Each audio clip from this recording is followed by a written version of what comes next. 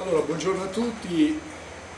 La lezione di oggi sarà tenuta dal professor Ettore Pennestri dell'Università di Roma Tor Vergata. Vi fornisco qualche brevissima indicazione riguardo il professor Pennestri. Si è laureato in ingegneria meccanica presso l'Università di Roma La Sapienza nel 1980, dopodiché ha effettuato il Master of Science e successivamente il Doctor of Engineering Science presso la Columbia University di New York, avendo avuto come tutor il professore Ferdinand Freudstein, con il quale abbiamo avuto a che fare durante il corso, e attualmente è ordinario di meccanica applicata appunto presso l'Università di Roma Tor Vergata. Terrà un seminario dal titolo On the Applications of the Min-Max Criterion in Mechanical Engineering e quindi è un grande piacere avere il professore qui da noi e passo la parola a lui. Allora, grazie innanzitutto al professor Figliolini per l'introduzione e per il cortese invito Grazie anche a voi per essere intervenuti a questo, a questo seminario. Ovviamente il titolo è in inglese, ma il seminario sarà in, in italiano. Eh, Giorgio ha appena ricordato il professor Frodestein, beh, oggi sarebbe stato il suo compleanno, quindi eh, tra l'altro le cose che adesso vi sto per dire eh, le ho apprese direttamente da lui. Ecco, una delle cose che ricordo e che eh, quando si seguivano i suoi corsi lui insegnava le cose che lui stesso aveva scoperto, lui stesso aveva, aveva proposto in, in, cinematica. Oggi parliamo di, eh, di Chebyshev. Chebyshev, adesso vedremo, è un, uno dei pilastri del, dell'ingegneria meccanica. Comincerò con un po' di storia, perché capire in, in, quale contesto opera Chebyshev e l'influenza che questa persona ha avuto uh, sul, uh, sugli sviluppi della scienza eh, secondo me è significativo. Eh, parleremo del criterio min-max che è poi un criterio che è stato formulato come vedremo proprio cercando di risolvere un problema di cinematica ma che ha dei risvolti applicativi in meccanica, in elettronica, eh, nella dinamica, come vedremo. E vedremo alcune, alcuni diciamo sì, problemi di cinematica risolti proprio attraverso, applicando questo, eh, questo criterio di ottimo. Vedremo quindi un'applicazione di questo criterio di ottimo in dinamica e quindi alcune diciamo, le conclusioni del, eh, del seminario. Allora, eh, eh Chebyshev eh, nasce un, in Russia in un, diciamo sì, in un villaggio vicino Mosca nel 1841 è diciamo sì, la famiglia è una famiglia agiata, il padre era ufficiale dell'esercito che ha combattuto nelle campagne eh, napoleoniche. E eh, fin dall'inizio lui vuole diciamo sì, dedicarsi alla, alla carriera accademica purtroppo uh, Chebyshev era claudicante per un problema di uh, una malattia che aveva avuto da bambino. Riesce, diciamo, nel 1847 eh, ad avere un, un posto come professore assistente all'Università di San Pietroburgo e lì compie tutta la sua carriera accademica. Non si sposa mai, e si ritira, va bene, va in pensione all'età di 61 anni. Qualche notizia, diciamo così, eh, qualche pettegolezzo su Chebyshev. Chebyshev aveva una figlia avuta da una governante e si narra che lui, dopo aver avuto questa figlia, si chiudesse nelle sue stanze la sera per paura va bene, che qualche governante lo venisse insomma, a trovare la notte. Quindi è una persona un po' strana. La data di nascita di Chebyshev, come vedete, è il 16 maggio, coincide con la mia, quindi sono da questo punto di vista particolarmente onorato. Eh, come nasce la teoria di Chebyshev? Cioè, cioè perché Chebyshev a un certo punto comincia ad occuparsi di, uh, della progettazione di meccanismi che generano delle traiettorie quasi rettilinee. Allora l'idea, questa, diciamo, sì, eh, questa ricerca viene stimolata dalla volontà di Chebyshev di migliorare il parallelogramma di Watt. Il parallelogramma di Watt, come, come ben sapete, si trova nella, eh, nella celeberrima macchina a vapore e in pratica è un uh, meccanismo che consente di generare una traiettoria rettilinea approssimata. Pratica il parallelogramma di Watt ha una struttura simile. Avete due aste A con 0A e B con 0B che sono uguali e al centro avete l'asta che descrive una traiettoria quasi rettilinea.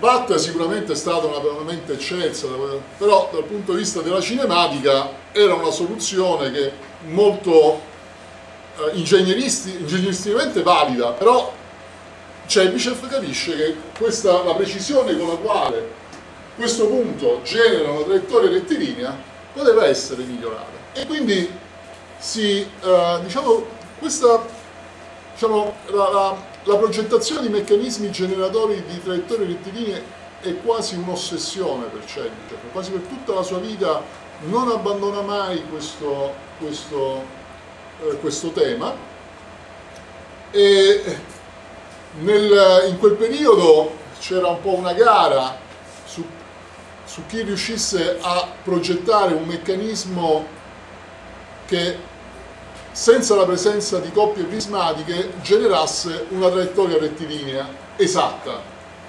La sfida la vince Poselier che è un generale del, eh, dell'esercito francese, però eh, quasi simultaneamente Lipkin trova una soluzione simile a quella di eh, Poselier, infatti il meccanismo si chiama meccanismo di Poselier-Lipkin, probabilmente l'avete già visto, Beh, il meccanismo di Poselier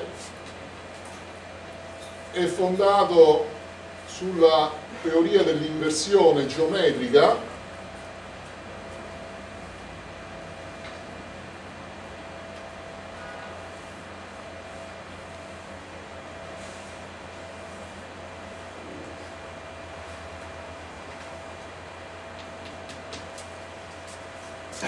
questo è un meccanismo, è un rombo praticamente, un meccanismo a, a otto membri, beh, si può dimostrare che questo punto descrive una traiettoria rettilinea esatta. Tuttavia questo meccanismo non viene inserito nella macchina a vapore e il motivo è evidente perché questo è un meccanismo a otto membri sostituire un meccanismo a quattro membri con a 8, capite bene, è vero che le prestazioni sono superiori dal punto di vista della generazione, della precisione con la quale il meccanismo generava la traiettoria rettilinea, ma la complessità strutturale raddoppia perché invece di quattro membri ne avete, 8. Ecco, questo è il meccanismo di eh, un disegno un po' più eh, decente, questa è la curva tracciata dal, dal, dal, punto di biella del meccanismo di, di Watt, è una lemniscata. Eh, Watt eh, in una lettera al figlio spiega un po' come ha ragionato e come è arrivato a progettare questo meccanismo. E lo fa in maniera molto semplice ed efficace secondo me in pratica ha ragionato in questi termini. Allora, questo punto descrive una traiettoria circolare con la concavità rivolta verso sinistra. Quest'altro punto invece genera una traiettoria circolare con la concavità rivolta verso-destra. Quindi in mezzo ci deve essere qualcosa di eh, intermedio, quindi lui sceglie come punto tracciante eh, la traiettoria rettilinea, il punto di mezzeria della biella e qui, diciamo così, va a eh, collegare il membro binario, il pistone e via discorrendo. Ecco, questo è uno, è uno dei modelli dei quadrilateri di Cebicev, adesso ne, ne parleremo, questi, questi modelli eh, sono almeno quello che vedete qui raffigurato, è, è conservato all'Istituto Bauman di, eh, di, Mosca e presenta appunto uno, una soluzione, la soluzione di Chebyshev alternativa al quadrilatero di Vatta. Oh, badate bene che Chebyshev può essere considerato a tutti gli effetti non solo un matematico eccelso, ma è soprattutto un inventore, cioè si conoscono vari meccanismi inventati da, da Chebyshev. Uh, per esempio c'è un, un, meccanismo per trasformare un moto oscillatorio in un moto uh, rotatorio. Adesso io qui ho un, ho un filmato che dovrei diciamo, farvi vedere, ma lo, faccio vedere un po' verso, verso la fine del, uh, del seminario. Però ecco, andiamo subito, entriamo subito in tema e vediamo, va bene, eh, andiamo ad esaminare il titolo del primo lavoro di Shevchev su questo argomento. E il titolo, il lavoro è del 1854, quindi oramai aveva già ottenuto il, eh, il posto di professore, professore assistente all'Università di San, Pietroburgo e pubblica questo, questo lavoro teoria dei meccanismi conosciuti sotto il nome di parallelogrammi. Allora il titolo è promettente e qui in questo lavoro eh, eh, va a, a formulare il, il, suo metodo che gli consente l'approssimazione di eh, polinomi attraverso delle, delle, funzioni o viceversa approssimare delle, delle funzioni attraverso polinomi. Il titolo è promettente, però ecco, nel momento in cui lo si va a leggere uno si accorge che mancano delle cose. Innanzitutto nell'articolo non c'è nessuna applicazione di, di, sintesi cinematica, vengono presentati negli articoli successivi, ma non nel, in questo. Infatti eh, eh, la cosa strana è che eh, nella premessa dell'articolo si parla di eh, applicazioni, che, spiegazioni che sarebbero state date, però queste ehm, spiegazioni nell'articolo originale non sono, non sono, presenti. Vediamo adesso, diciamo, questa è la, il, eh, è la formulazione originaria di Cernicev, adesso eh, senza andare a leggere in francese, eh, cercherò di spiegarla bene, in, in termini molto più, eh, molto più eh, semplici e attraverso un, un esempio grafico.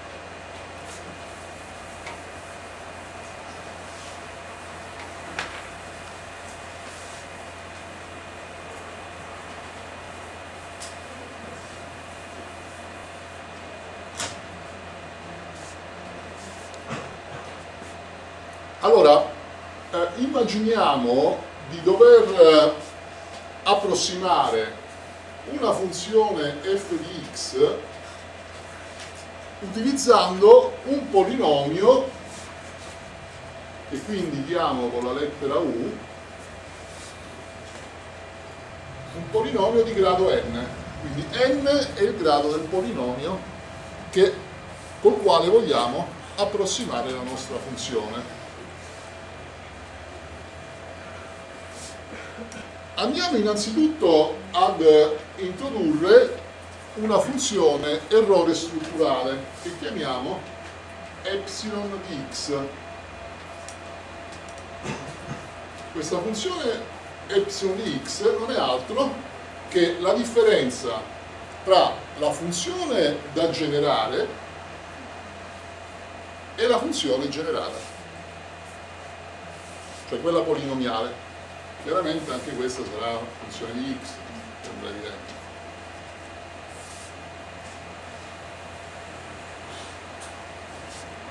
Allora,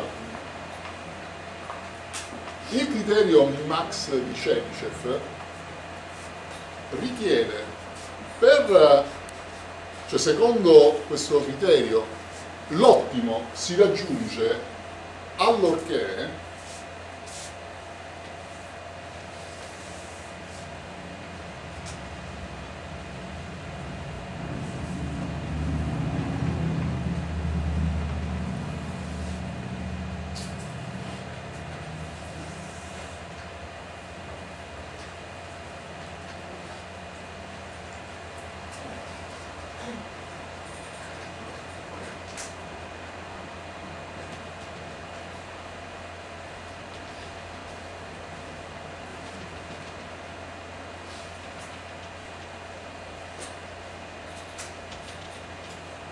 allorché la funzione errore strutturale presenta una, un andamento equi-oscillatorio tra un valore massimo e un valore minimo.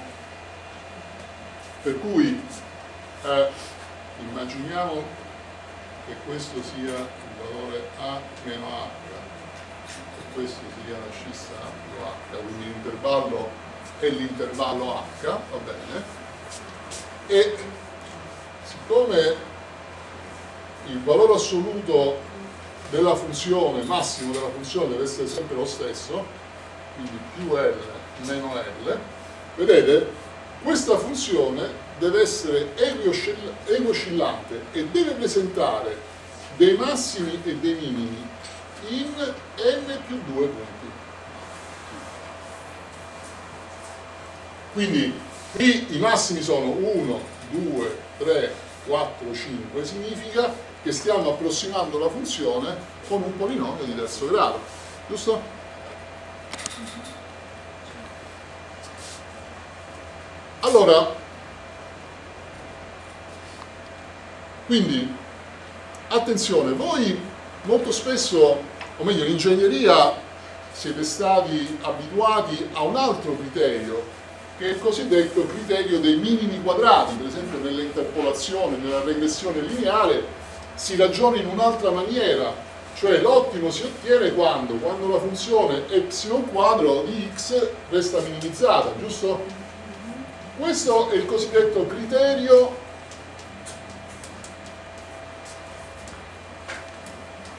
dei minimi quadrati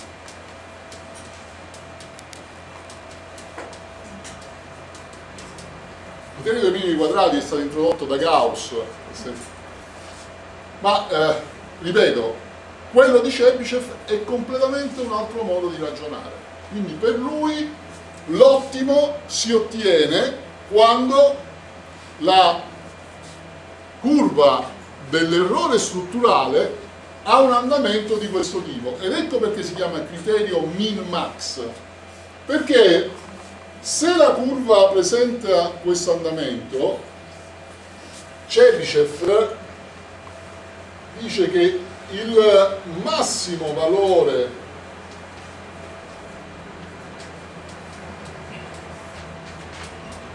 di epsilon resta minimizzato.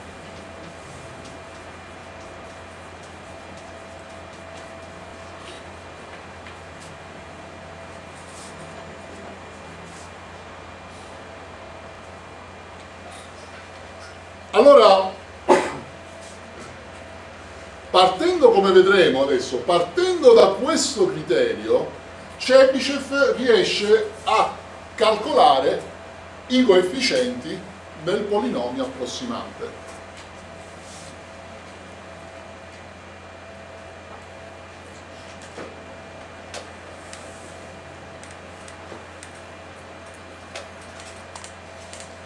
Allora, sempre nell'articolo che vi ho nominato poco fa, innanzitutto Chebyshev non dà una dimostrazione del suo criterio di ottica. Dà l'impressione che il criterio sia noto in precedenza, perché usa un'espressione francese comme on sait, cioè come si sa, cioè non dice questo è qualcosa che sto proponendo io.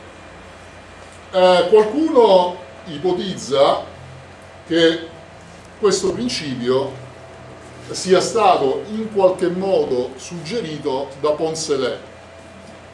Chi era Poncelet? Poncelet era un ufficiale napoleonico che è stato catturato durante la ritirata di Russia e ha passato qualcosa come due o tre anni in prigionia e durante questo periodo non è che se, non è rimasto con le mani in mano ma ha formulato, va bene, ha aperto un nuovo, un nuovo filone della geometria, la cosiddetta geometria proiettiva. Noi oggi non la studiamo più, ma negli anni, diciamo sì, eh, nel 1800 era uno strumento di indagine eh, potentissimo e questo strumento di indagine è stato sviluppato da Poncelet durante la prigionia in Russia. Ecco perché qualcuno dice ma probabilmente Poncelet avrà parlato, avrà fatto, qualcosa sarà rimasto e quindi magari appunti o scritti di Poncelet possono essere eh, pervenuti a, a Celice. Ma la cosa ovviamente non è, non è certa. Però ecco, quello che è sicuro è che, ripeto, l'espressione che usa Chebyshev è un'espressione che dà quasi per scontato che il principio, il principio di ottimo che lui ha enunciato fosse noto in precedenza.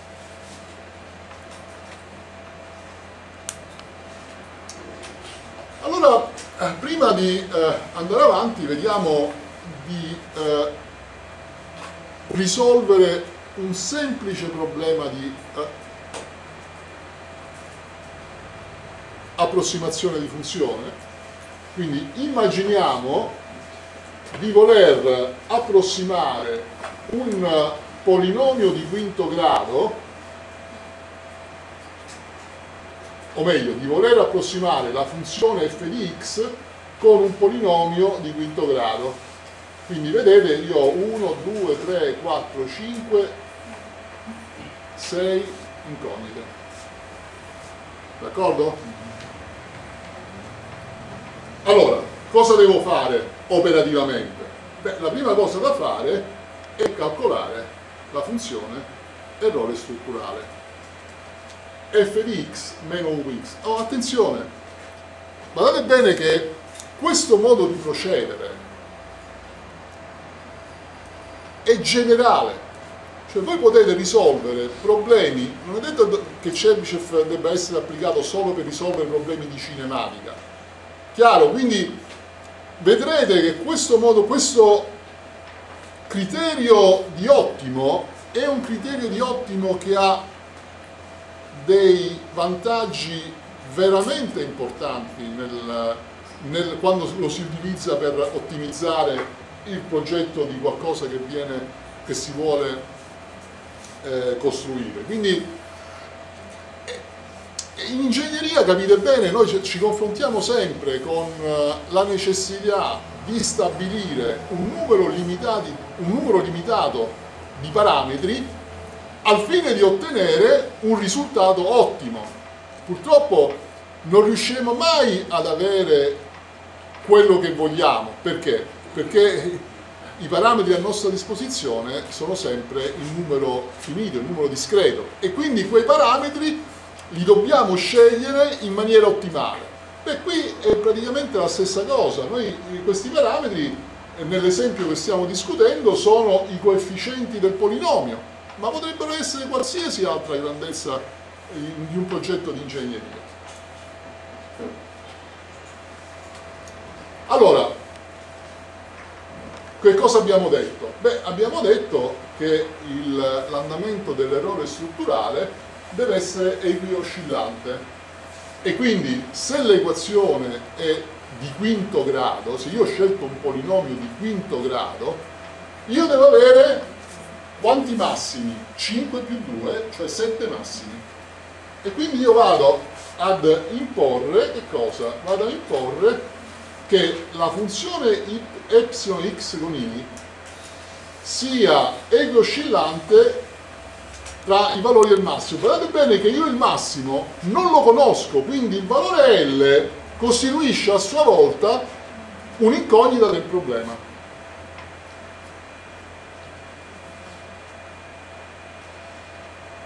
Poi devo imporre, vedete che quando vado a considerare i punti di massimo, considero anche gli estremi, però agli estremi normalmente non ho non solo punti di stazionarietà, i punti di stazionarietà, i massimi e i minimi, ce li ho all'interno dell'intervallo e quindi io devo aggiungere che cosa? Devo aggiungere altre relazioni che necessarie ovviamente che richiedono la stazionarietà della curva dell'errore strutturale nei punti di massimo e minimo relativo, anzi assoluto in questo caso. Quindi abbiamo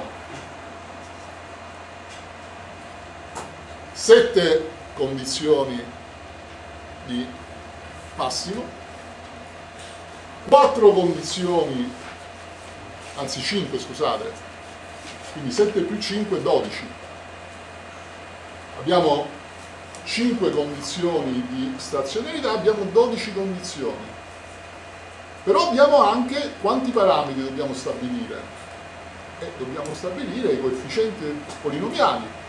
Però attenzione, abbiamo detto che L è incognito, ma non solo L è incognito, non sappiamo dove si trovano i massimi, cioè i punti dove si hanno i massimi. Quindi queste ascisse, dove si realizzano i massimi, costituiscono ancora un, un'incognita del problema. Quindi ripeto, alla fine sono incognite. Le ascisse dei punti di massimo e di minimo, ovviamente estremi esclusi.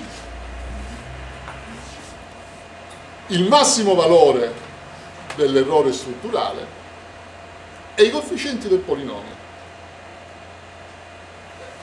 Quindi alla fine, io qui ho, ho elencato questa slide tutte le incognite, quindi abbiamo i coefficienti del polinomio da p con 0 a p con 5, le ascisse dove io vado a realizzare i valori massimi e minimo, x2, x3, x4, x con 5, x con 6, vedete che x1 e x con 7 io questi, questi valori non li conto, perché? Perché x1 e x con 7, cioè i valori estremi, agli estremi dell'intervallo di approssimazione, questi, queste ascisse sono per me note, perché io so all'interno l'intervallo all'interno del quale voglio realizzare l'approssimazione.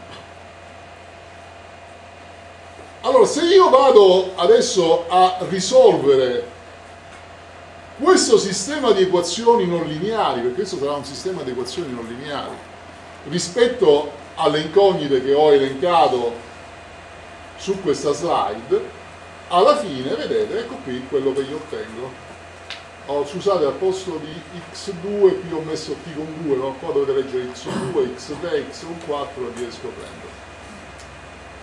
Vedete che il bello del criterio di Chebyshev è che alla fine mi dice qual è l'errore che io sto commettendo, qual è il massimo valore che io sto commettendo.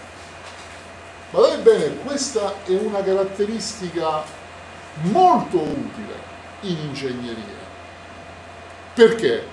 Perché l'ingegnere molte volte ha necessità di dire, se io faccio questa scelta, qual è il massimo valore dell'errore che io sto commettendo.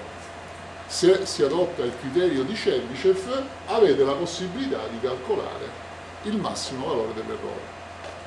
Adesso provo a diagrammare l'errore strutturale, ho dimenticato di dire che la funzione da approssimare è la funzione eh, coseno di x, coseno di pi diagonale di x, e vedete, questo è l'andamento del, della curva dell'errore strutturale, vedete c'ha questo andamento tipico della, del criterio min-max, cioè un andamento equioscillante tra massimo e minimo. Il, del, il massimo valore dell'errore strutturale è dell'ordine di 10 alla meno 4, cioè un, un, ottimo, un ottimo, errore, diciamo, cioè un errore molto, molto basso.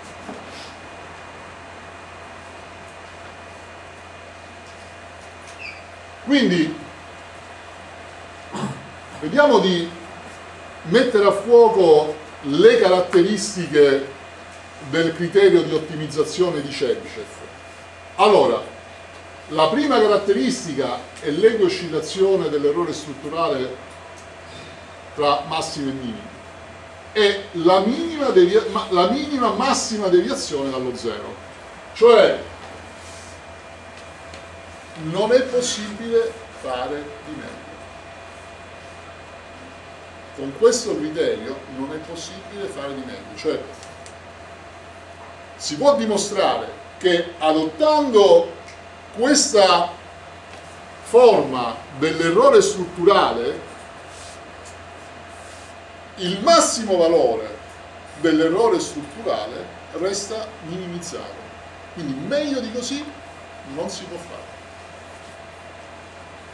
E questo è una bella garanzia, poi vi farò vedere qualche applicazione di questa, questa proprietà. Uh, naturalmente eh, Chebyshev è più famoso in, in, matematica per tutta una serie di scoperte che ha realizzato che in, in cinematica, però ecco ricordiamoci che questa teoria, bene, che è una teoria diciamo, che poi ha avuto dei risvolti nel, nella matematica, nasce da un problema di cinematica. Eh, in matematica sono, direi, celeberrimi i cosiddetti polinomi di Chebyshev. Ne avete mai sentito parlare? Qualcuno ha sentito mai parlare di polinomi di Chebyshev? Lei no? Mai. Allora, vediamo di che cosa si tratta. Allora, l'idea di Chebyshev è la seguente. Immaginiamo di voler approssimare il polinomio di grado n x alla n utilizzando un polinomio di grado n-1. Quindi l'idea è la seguente. Voglio approssimare un polinomio di grado n, in particolare fx uguale a xn, utilizzando invece un polinomio di grado n-1. Allora, qualcosa devo fare? Beh, devo praticamente calcolare l'errore strutturale e quindi il polinomio L'errore strutturale che io qui ho indicato con t con n e x sarà x con e, sarà fx meno u di x. Chiaramente, siccome per u di x ho, me, ho messo il segno meno qua davanti, avrò x con n più p con n meno 1, xn meno 1 e via discorrendo. D'accordo? Adesso devo applicare che cosa? Devo applicare le condizioni di ottimo secondo Chebyshev. Quindi richiedo che cosa? Richiedo che in n più 2 punti ci siano dei massimi e dei minimi con segni alterni. Richiedo che ci siano n-1 punti in cui l'errore strutturale ha, assume dei valori stazionari. Cominciamo dal caso, vabbè, il caso semplice n uguale a 0, n uguale a 1, che è il caso forse più, più banale, tra virgolette. Allora, se n uguale a 1, chiaramente avrò il polinomio da approssimare è x e lo devo approssimare con una costante, quindi in questo caso p con 0. Beh, agli estremi t meno 1, t più 1, quindi meno 1 più p con 0, meno 1 più p con 0, meno l più l. E quindi se io adesso vado a risolvere questo sistema costituito da due equazioni, due incognite, due equazioni, una è P con 0 e l'altra L, ottengo che p con 1 x uguale a x. Beh, questo è il primo polinomio di Chebyshev. Andiamo a prendere un, un esempio un po' più elaborato, prendiamo il caso n uguale a 2, quindi la funzione devo approssimare x quadro utilizzando una retta. Allora che cosa devo fare? Beh, devo imporre che cosa? Devo imporre che il sistema abbia queste posizioni di eh, massimo, devo imporre che la curva errore strutturale abbia una posizione, un punto di stazionarietà e quindi ho che cosa? Un sistema di equazioni dove le incognite sono p con 0, p con 1, x con 2 e l, quindi quattro equazioni in quattro incognite.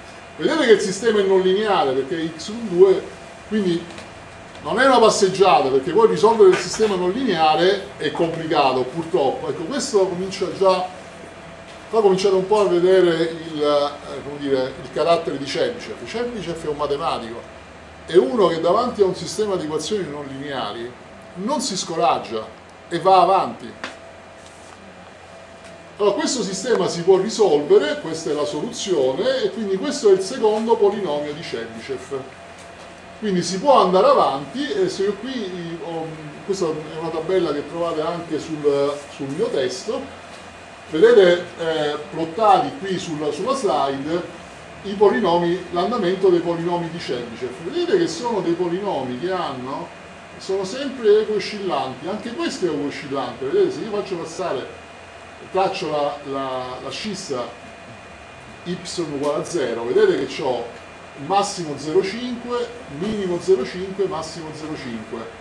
Poi se se traccio la, la retta delle ascisse a partire da y uguale a 0, vedete che ho il massimo che è circa 1,3 qualche cosa, minimo 1,3 qualche cosa, massimo... Anche questi altri, t con 4, t con 5, t con 6. Benissimo, questi polinomi ottenuti in, questa, in questo modo sono i cosiddetti polinomi di Chebyshev, che in matematica hanno tantissime applicazioni. Quindi vedete l'applicazione del principio di ottimo di Chebyshev conduce a definire questi polinomi. Oh, naturalmente io qui che cosa ho fatto? Beh, eh, i, i, sapete che i matematici amano normalizzare tutto quanto, quindi qui l'intervallo di ottimizzazione è tra meno 1 e 1. Però ecco, si può, diciamo così, eh, bypassare questa limitazione. Oh, qui c'è anche un'altra rappresentazione trigonometrica dei polinomi di Chebyshev, va anche bene, adesso non, non mi sto a... Oh, invece ecco, vi stavo dicendo, eh, l'analisi um, che è stata fatta eh, è stata fatta assumendo come intervallo di x di approssimazione eh, le ascisse meno 1, 1.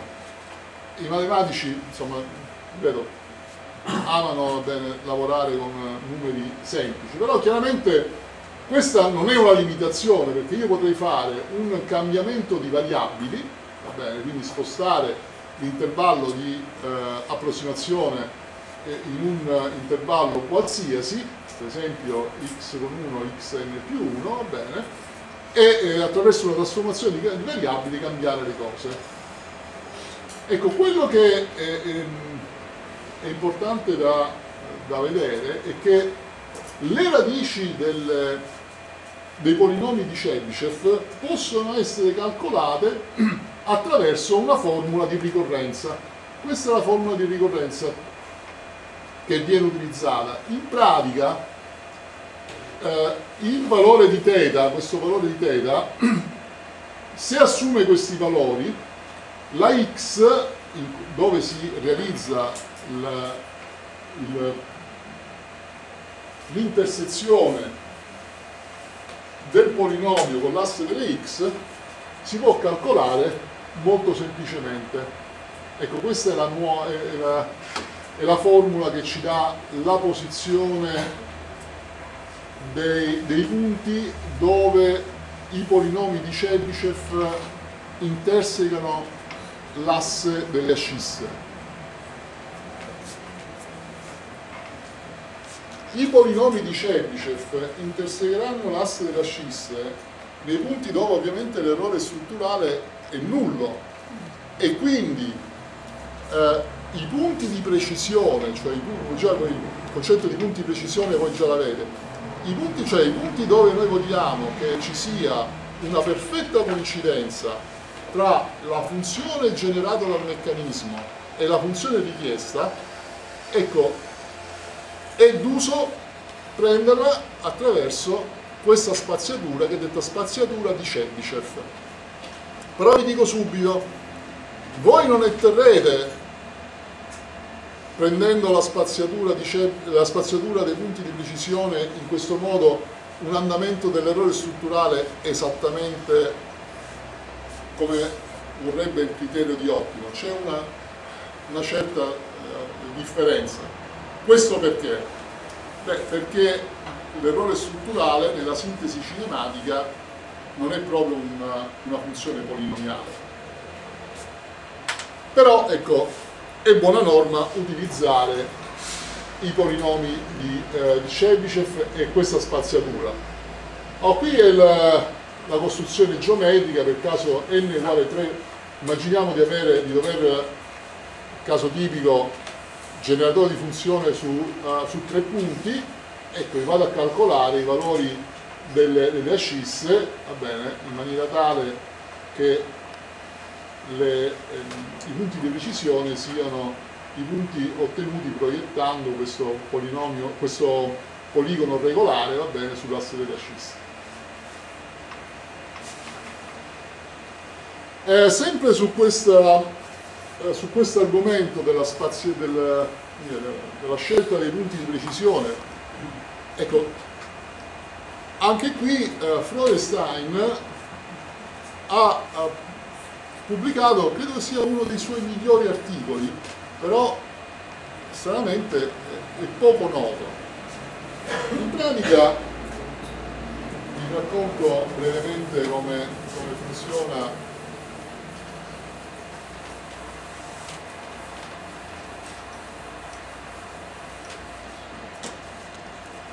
Allora, immaginate di dover di aver eseguito la sintesi cinematica di un quadrilatero generatore di funzione. Quindi voi avete che cosa? Avete l'errore strutturale epsilon x f di x meno g di x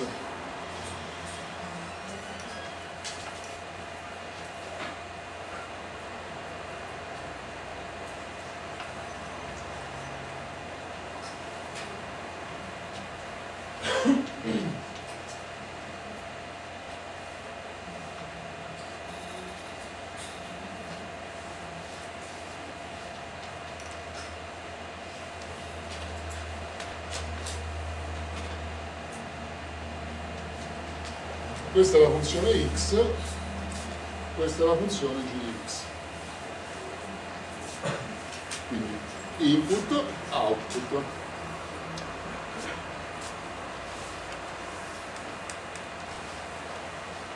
Se andate a plottare, chiaramente uno dei problemi è dove scelgo i punti di precisione, quindi immaginiamo di aver scelto i punti di precisione con la spaziatura di Chebyshev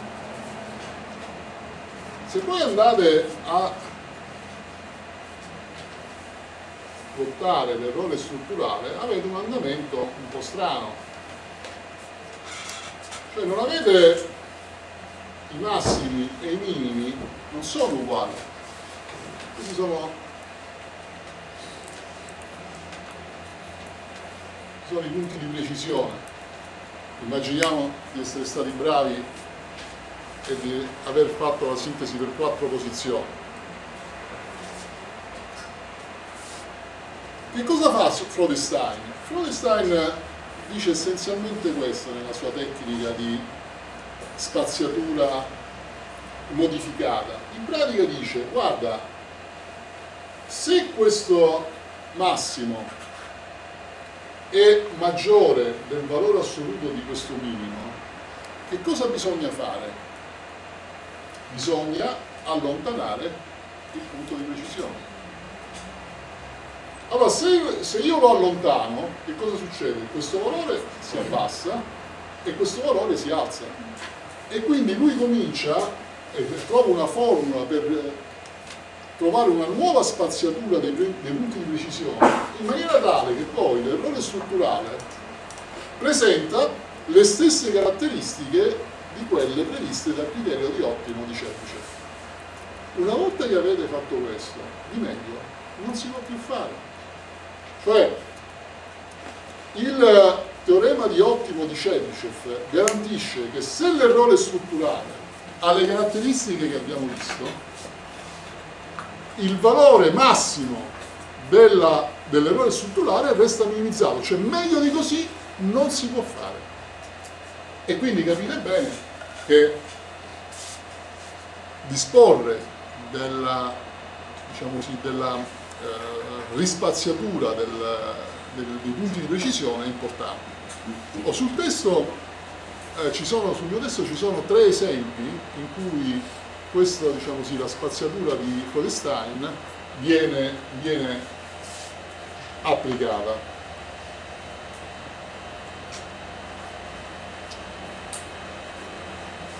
Consideriamo adesso un altro problema, questo è sempre stato svolto da Codestein, è un articolo pubblicato nel 75 assieme a Primrose e ha un, uh, un titolo, diciamo così, uh, altisonante. The Classical Transmission Angle Problem. Eh, L'articolo, guardate bene, è, dice molto di più di quello che io vi dirò oggi. Tratta sia il caso del, del quadrilatero piano che del quadrilatero sferico. Però ecco, ve lo voglio eh, riassumere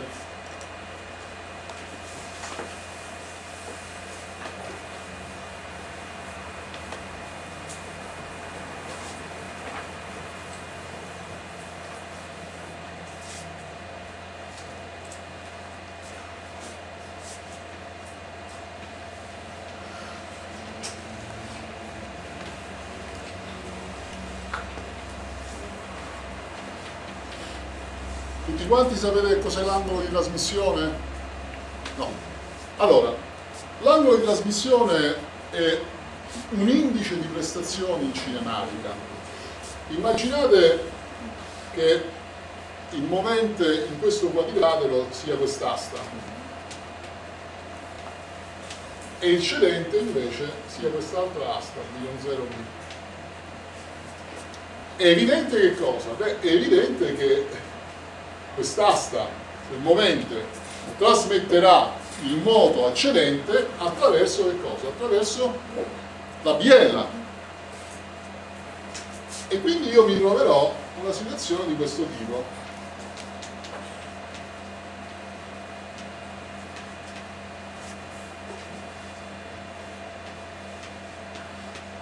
Se non c'è attrito, io posso dire che cosa? Posso dire che la forza che la biella trasmette al cedente dovrà essere orientata lungo AB, nel caso in cui non ci sia attrito. Quindi posso dire che la forza che la biella trasmette al cedente deve avere questa direzione. Vedete che questa forza la potete scomporre in due componenti una componente ortogonale all'asta e una componente invece diretta proprio lungo l'asse. Allora capite bene che ai fini della trasmissione del momento ridurre il più possibile questa componente è importante. Cioè, per me la condizione di ottimo è quando questa componente è pari a zero in pratica quando la forza trasmessa dalla biella sul cedente forma un angolo di 90 gradi Beh, purtroppo questa situazione non può, essere, non può verificarsi su tutto l'arco di modo del sistema, su tutto l'intervallo di modo del sistema. Quindi si introduce quest'angolo, che è l'angolo tra la biella e il cedente, e quest'angolo è detto angolo di trasmissione. Qual è il, diciamo, il criterio di merito? Beh, il criterio di merito è quello di fare in modo che la deviazione di quest'angolo dal valore ottimo di 90 gradi resti minimizzata. Quindi noi andremo a formulare il problema richiedendo che il, il massimo valore della deviazione dell'angolo di trasmissione dal valore ottimo 90 gradi resti minimizzato. Allora, il problema che, sta, che, ha affrontato, che hanno affrontato Freudenstein e Primrose è il seguente, è un problema veramente classico. Io voglio progettare quindi un quadrilatero manovella bilanciere che faccia corrispondere ad una rotazione φ del movente una rotazione psi del cedente. E voglio che nell'intervallo di moto il valore dell'angolo di trasmissione, il massimo valore dell'angolo di trasmissione, o meglio la massima deviazione dell'angolo di trasmissione dal valore ottimo resti minimizzata. È chiaro per tutti allora qual è il problema? Vedete bene, questo è un problema di sintesi di generatore di funzioni, niente di più. Anche qui eh, Freudenstein credo che sia uno dei suoi migliori lavori, anche qui poco noto, tra virgolette. Oh, io qui ho cercato di eh, rappresentare eh, geometricamente il problema, quindi noi abbiamo, questo è un bilanciere, quindi oscillerà tra due posizioni di punto morto, vi ricordo le posizioni di punto morto sono quelle in cui movente e biella sono o allineate oppure sovrapposte. Quindi queste sono le due configurazioni di punto morto. L'angolo psi è l'angolo di oscillazione, questo è un dato del problema, Uh, Φ è invece l'angolo di rotazione del movente tra queste due eh, posizioni. Ho il termine crank, in inglese crank è manovella, rocker invece bilanciere. Se c'è qualche termine che non conoscete, per favore alzate la mano e cercherò di eh, eh, tradurre per voi. Allora, la sintesi viene operata in due fasi. La prima fase andiamo a eseguire la sintesi del quadrilatero manovella bilanciere in maniera tale che dato un valore di φ il bilanciere oscilli di un valore psi assegnato. Come vedremo questa sintesi non conduce ad una soluzione univoca ma c'è un parametro libero Freudenstein che cosa fa? Utilizza il parametro libero ottenuto in questa prima, questa prima, fase di sintesi, lo ottimizza in maniera tale da avere un, un andamento del, del, dell'errore sull'angolo di trasmissione congruente col criterio di ottimo di Cedice.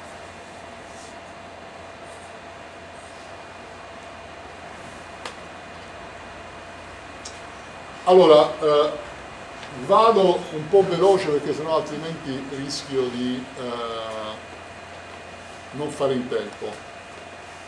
Eh, comunque sono delle costruzioni che sono riportate eh, sul mio testo, penso che il vostro professore magari le guarderà in qualche altra lezione in maniera un po' più attenta. Adesso quello che me interessa è che voi abbiate l'idea generale bene, di come il criterio di ottimo di Chebyshev possa essere applicato. Allora, in pratica, dopo la prima fase di sintesi, ecco, viene fuori qualcosa di simile, ecco qua. In pratica A, B, C, D sono le, eh, le dimensioni delle aste, eh, mentre il... Ehm, allora, vedete, T è un valore noto, U è anche un valore noto, Mi è anche un valore noto, l'unico valore incognito è questo valore lambda, questo parametro lambda. Quindi il parametro lambda è, eh, è incognito. Dalla geometria del, del problema vengono fuori queste quattro operazioni. Il problema è il seguente, scegliere il valore lambda in maniera tale da operare secondo il criterio di ottimo di Chebyshev. Quindi che cosa viene fatto? Si calcola il valore minimo e massimo dell'angolo di trasmissione. Ecco, queste sono le configurazioni in cui il quadrilatero presenta le deviazioni estreme. Ecco, in questa configurazione, quando vedete il movente è sovrapposto al telaio, in questo caso l'angolo di trasmissione presenta il valore minimo, in quest'altro caso l'angolo di trasmissione il valore massimo. Quindi io devo fare in modo che questi valori massimo e minimo la deviazione rispetto a 90 gradi sia la stessa. Quindi, vedete, 90 gradi meno delta 1 90, questo è l'angolo di trasmissione minimo, 90 gradi più delta 2. Adesso devo fare in modo che delta 1 e delta 2 siano uguali. Quindi, perché? Perché devo avere l'equio oscillazione tra massimo e minimo. Quindi ottengo questo è il valore sema di delta. Adesso il, diciamo così, la, la sfida è andare a calcolare il valore, minimizzare questa massima.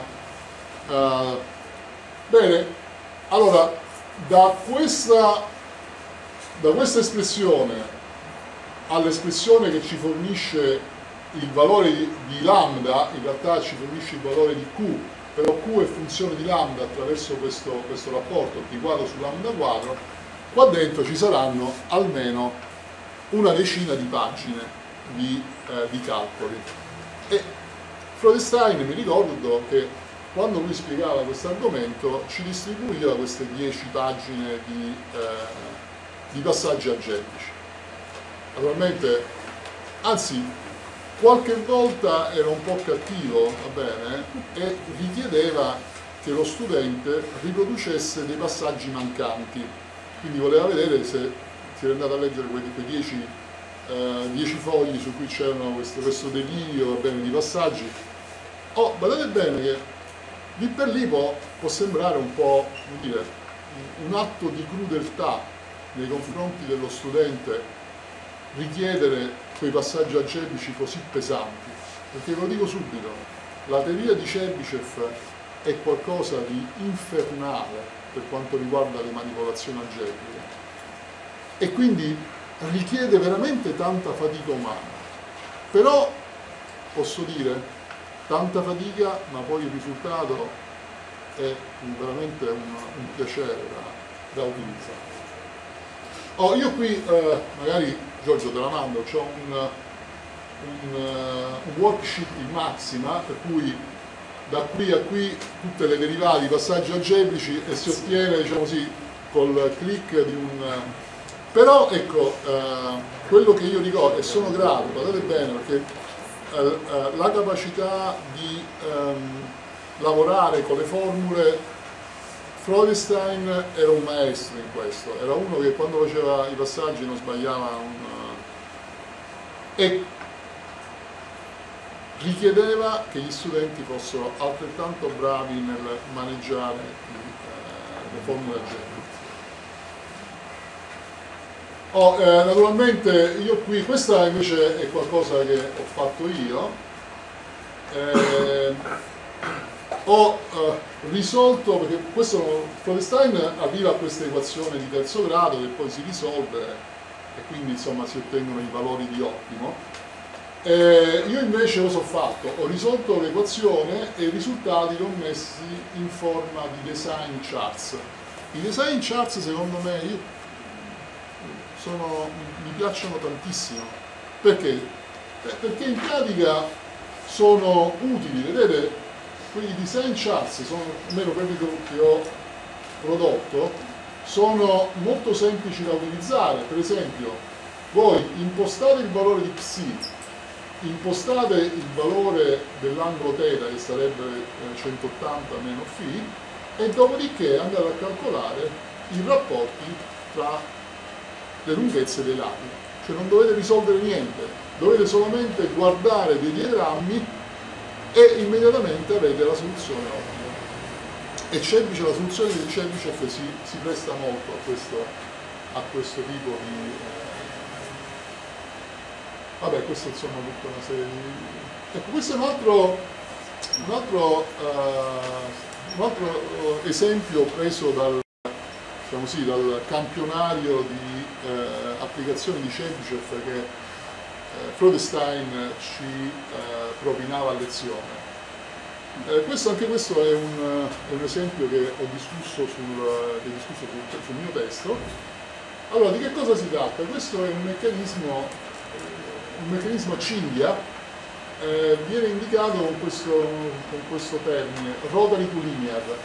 In pratica, vedete, quest'asta qua può ruotare e all'estremità di questa puleggia c'è un, uno stilo, va bene, e questo stilo praticamente descrive una traiettoria, dovrebbe descrivere una traiettoria il più possibile rettilinea. Io adesso qui ho esagerato la, la traiettoria questo, diciamo, della punta di questo stilo, la deviazione della punta di questo stilo da 90 gradi. Però, va bene, eh, vi posso assicurare che, come vedremo, che l'errore strutturale è veramente piccolo. Quindi il problema è oh, dove si usano questi, questi meccanismi? Beh, ehm, non so se avete, avete visto i, gli indicatori eh, di, eh, nei serbatoi, eh, oppure nei contachilometri, oppure nei meccanismi che vengono utilizzati per monitorare l'umidità nei locali. Eh, questi meccanismi, non so se avete visto, sono costituiti da un, un ago, bene, una punta tracciante e poi c'è un rotolo di carta che ruota secondo una legge oraria costante. E quindi praticamente se il pennino rimane sempre nella stessa posizione significa che l'umidità eh, si manteneva nei, nei, valori corretti, altrimenti se, se, comincia a muoversi, va bene, allora è successo qualche evento e quindi bisogna intervenire.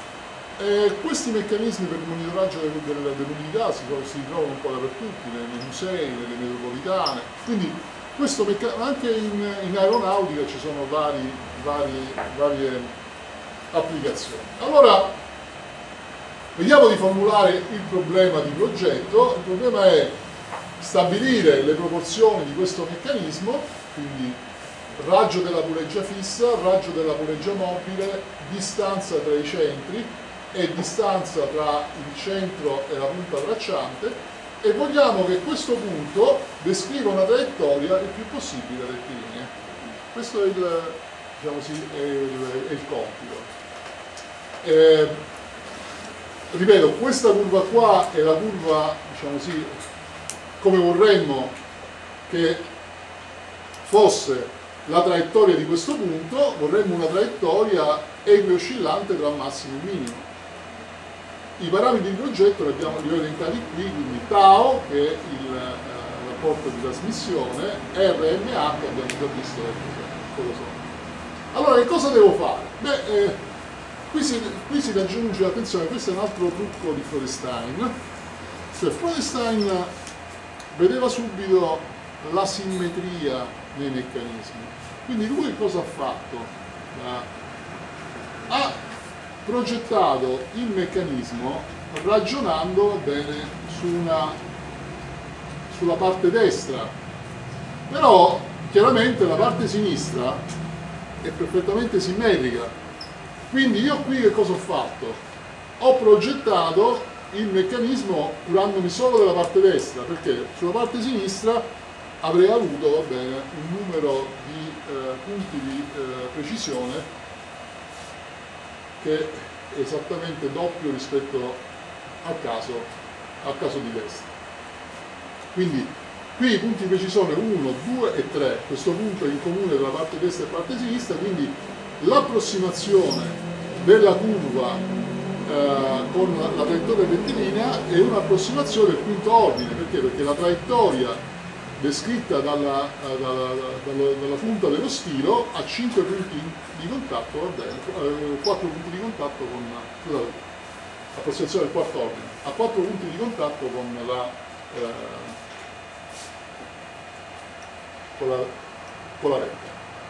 Allora, qui ho impostato, cioè ho impostato, Freudenstein imposta le, le equazioni di, eh, di sintesi, in pratica vedete ci sono tre, tre posizioni in cui eh, eh c'è il massimo errore strutturale, qui il massimo errore strutturale è indicato con delta, quindi sono questi punti qua, 1, 2 e 3. 1, 2, 3, quindi tre condizioni, eccole qua, le tre condizioni, poi devo aggiungere eh, la condizione relativa al punto di stazionarietà, in pratica questo punto qua è un punto di stazionarietà e quindi ho quattro equazioni, quattro incognite, in realtà sono tre perché una dipende dall'altra.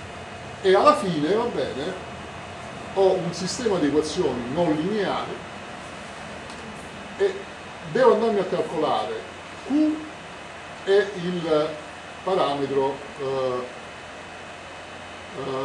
eh, L, questo è il massimo errore strutturale tau e alfa sono prescritti, cioè li assegno.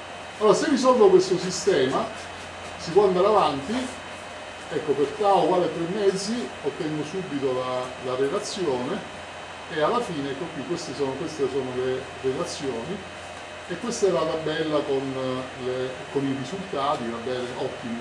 Quindi praticamente se io scelgo il, il valore tau, va bene, un terzo, vedete, questo è, il, è alfa, questo valore qua, questo è il massimo valore dell'errore strutturale. Però io potrei anche entrare in tabella col massimo valore strutturale, quindi il massimo, il massimo errore commesso dal meccanismo nel generare la traiettoria rettilinea e scegliere gli altri parametri.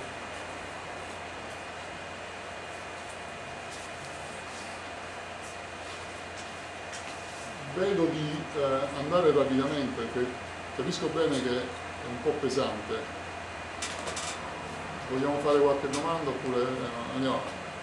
Casomai dopo capisco bene una, una tortura perché il Chebyshev è veramente pesante come algebra.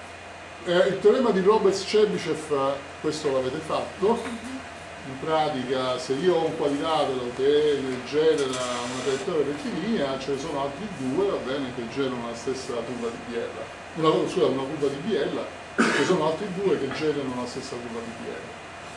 E qui eh, queste sono eh, ecco. Allora, allora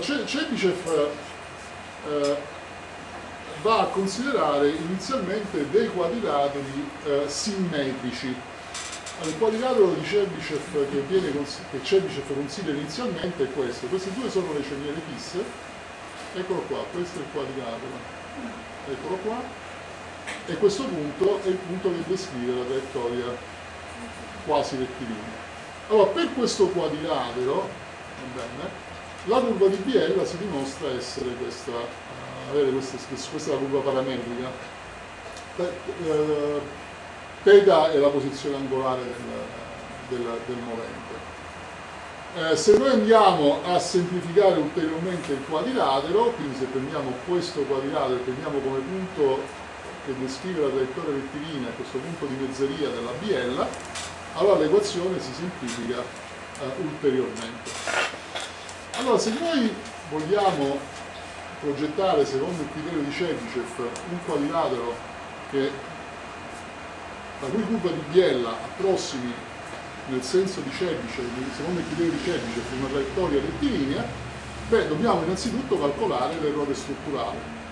Allora, immaginiamo che la curva, la traiettoria si trovi ad un'altezza y con 0, quindi noi vogliamo, quindi y meno y con 0 è l'espressione del, del, dell'errore strutturale. È, è chiaro che noi vorremmo che l'errore strutturale sia uguale a 0, purtroppo questo non è possibile e quindi bisogna scegliere R, beta, theta anche in maniera tale bene, che il, eh, l'errore resti, il massimo valore dell'errore resti minimizzato. Allora dopo un po' di manipolazione algebrica viene fuori che introdotto questo parametro 0 uguale cotangente di θ, adesso non chiedetemi come Chebyshev abbia venire, Chebyshev sia venuto in mente di scegliere 0 uguale cotangente di θ, quando uno è un matematico di professione, certamente queste cose sono più facili che per i comuni mortali. E quindi la curva dell'errore la funzione errore strutturale è questa, quindi bisogna scegliere più con 1, più con 2, più con 3 in maniera tale da avere eh, la famosa curva dell'errore e più oscillante. Adesso vi, eh, vi risparmio tutti diciamo così, i passaggi algebrici, sul testo eh, li trovate, insomma se avete dire, lo stomaco eh, allenato potete, eh, potete seguirli e alla fine quello che viene fuori è un uh, procedimento che uh,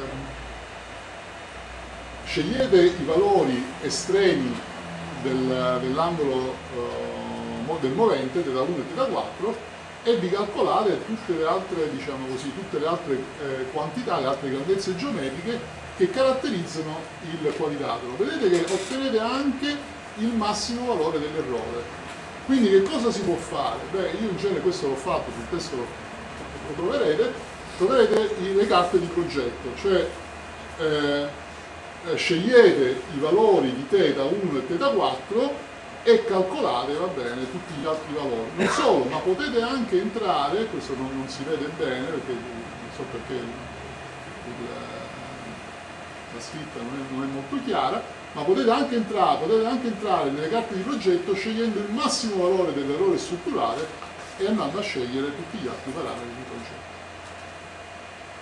Ora, naturalmente qualcuno dirà, dice, ma io di un, di un quadrilatero uh, simmetrico doppio bilanciere che cosa ci faccio? Beh, potrei scegliere invece del quadrilatero doppio bilanciere, da questo quadrilatero doppio bilanciere posso tirare fuori un, un quadrilatero cosiddetto combinate, cioè il quadrilatero affine, che eh, descrive la stessa traiettoria di, eh, di DL. Quindi questo è il quadrilatero e quindi posso avere un quadrilatero manovella bilanciere dove questo punto di biela traccia essenzialmente la stessa traiettoria del quadrilatero simmetrico che abbiamo progettato. Eh, L'ultima, 5 minuti e poi eh, questo è invece qualcosa che ho fatto, un lavoro che ho fatto vari anni fa, nel 1990. E tutti quanti sapete cos'è lo smorzatore dinamico? Allora ve lo, ve lo racconto in un, in un attimo. Lo smorzatore dinamico è un oggetto molto importante. Allora, se voi avete una massa una massa principale M1 soggetta ad una forza armonica è chiaro che questa, questa massa comincia a vibrare, giusto? Cosa, agli ingegneri meccanici le vibrazioni non piacciono, quindi dobbiamo intervenire per eliminare le vibrazioni. Lo smorzatore dinamico prevede che voi andate ad aggiungere un elemento elastico, questo è K1, questo è K2, questo è M2 e una massa all'estremità di questo. Allora se voi siete così bravi da scegliere opportunamente K2 e M2, le vibrazioni della massa principale non dico che cessano, ma si riducono in maniera significativa. Forse voi non lo sapete, ma sui vostri semiassi, nelle macchine nelle vetture a trazione anteriore c'è lo smorzatore dinamico per smorzare le vibrazioni che vengono eccitate dal, giunto, che sono eccitazioni del terzo ordine. Quindi è un, è un oggetto, lo smorzatore dinamico ha una serie di applicazioni enormi, adesso ne faccio vedere qualche altra, giusto per incuriosirvi. Una delle, ehm, delle, applicazioni più importanti è nel, nel smorzamento delle vibrazioni nei, nei grattacieli Adesso non so quanti di voi guardino insomma, i programmi questi, su Extreme Engineering e fanno vedere questi grattacieli di 100 piani, eh, cose no. Benissimo, tutti questi grattacieli hanno necessità di, mettere eh, in cima, bene, alla sommità, bene, uno smorzatore dinamico.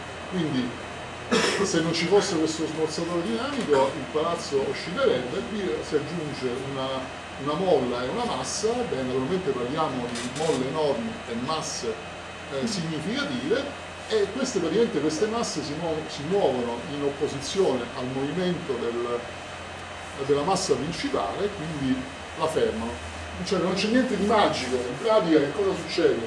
Che la forza di inerzia che eh, fa muovere la massa secondaria equilibra, va a equilibrare la, la forza eccitatrice, quindi è sicuramente uno strumento molto utile. L'altro esempio, questo l'ho tratto dal, dal, libro di Denarco, di meccanica delle, delle vibrazioni, eh, questo è un, è un, rasoio, un rasoio elettrico, eh, uno dei problemi è che eh, i barbieri tengono questi oggetti in, per tanto tempo e le vibrazioni eh, distruggono le cartilagini. E quindi se, vengono, se, gli attrezzi non sono opportunamente smorzati, le persone bene, che impugnano questi attrezzi sul, uh, sul lungo periodo avranno delle, delle conseguenze. Eh, ho avuto uno studente che ha fatto una tesi di laurea su qualcosa di simile, non so se avete visto che adesso vanno di moda i tatuaggi, no? la macchina per fare i tatuaggi è una macchina bene, che eh, fa, uh, assegna un moto armonico al, al, all'ago. E questo moto armonico naturalmente viene smorzato dalle mani del, del tatuatore.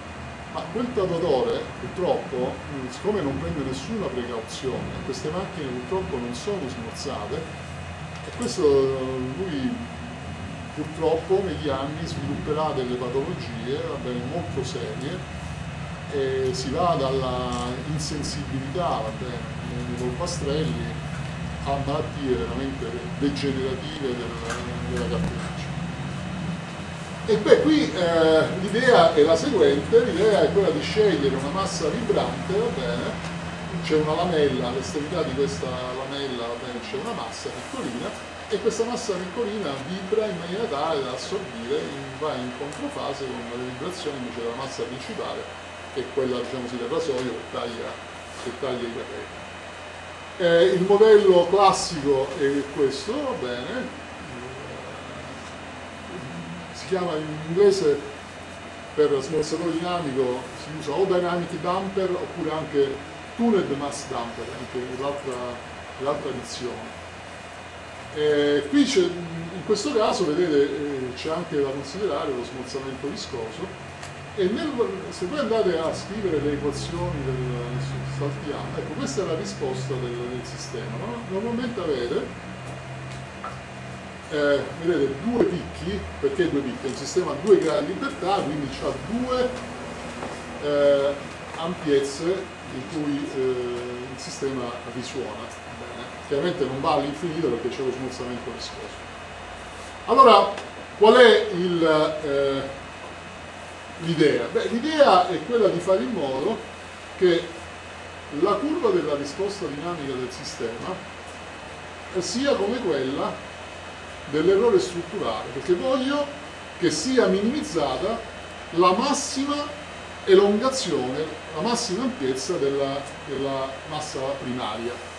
E quindi ho impostato, va bene, il problema come se dovessi risolvere un problema di ottimo eh, secondo Chebyshev E quindi ho impostato, queste sono le equazioni, quindi le oscillazioni tra massimo e minimo, punti di stazionarietà, e alla fine viene fuori un sistema di equazioni non lineari.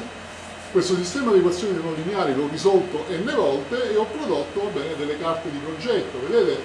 Allora, questo, uh, in, questo, in questo diagramma vedete, allora alfa è qualcosa di proporzionale allo spostamento massimo x, chiamiamolo x1, quindi alfa è proporzionale a x1. Il rapporto mu è il rapporto tra le masse m2 su m1. Quindi Z1 invece è il fattore di smorzamento qua dobbiamo ammettiamo questo C1 zeta 1 uguale C1 diviso 2N1 omega 1 omega 1 è la, la pulsazione la prima pulsazione angolare quindi cosa potete fare? beh potete scegliere la massima l'ampiezza massima di oscillazione quindi entrare nel diagramma con l'ampiezza massima di oscillazione e scegliere i parametri, per esempio rapporto tra le masse, fattore di smorzamento.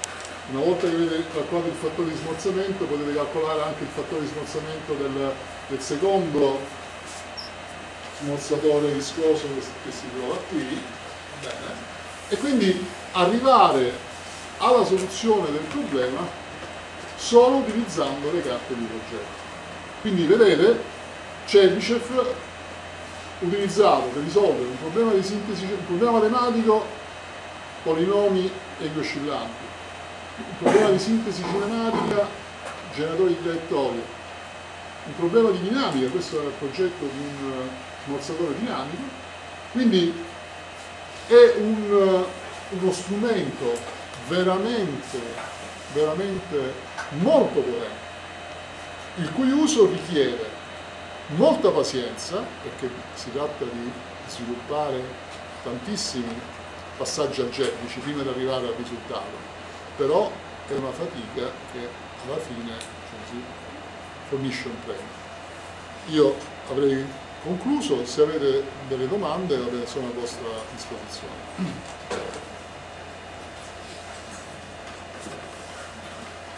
ringraziamo il professor Penestrini.